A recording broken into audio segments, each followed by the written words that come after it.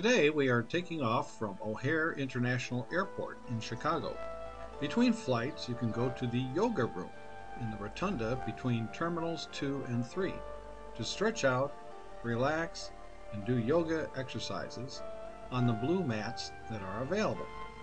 You can also practice transcendental meditation to expand the conscious capacity of your mind. More info is at tm.org.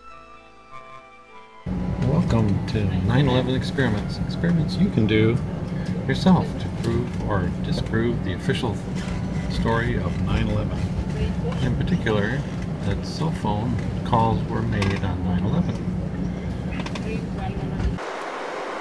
Okay, it's trying to dial. It's trying to dial. Here we are, cruising altitude. You can see the clouds down there. Let's see, it's not answering yet. Not yet. It's trying. This cell phone is trying. Let's see.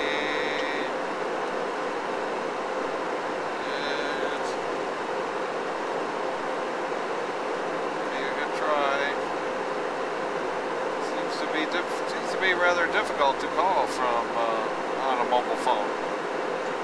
So why was it so easy on 9/11? Uh, a lot of people supposedly called on their mobile phones. Let's check it out.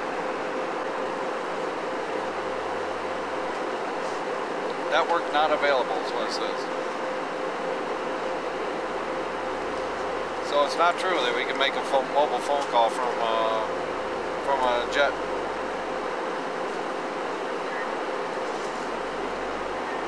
I'll try again. Give it a real good try. Can you see the screen all right? Just trying to call. No answer yet.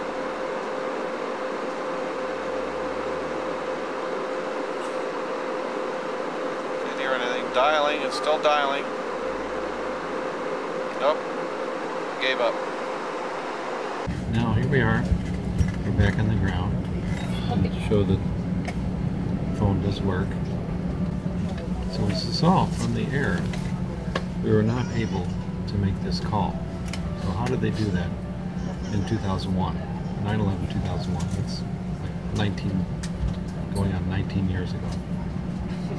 We can call the Association for 9-11 Truth Awareness on King Street, Washington, D.C lobbying for a new investigation of 9-11.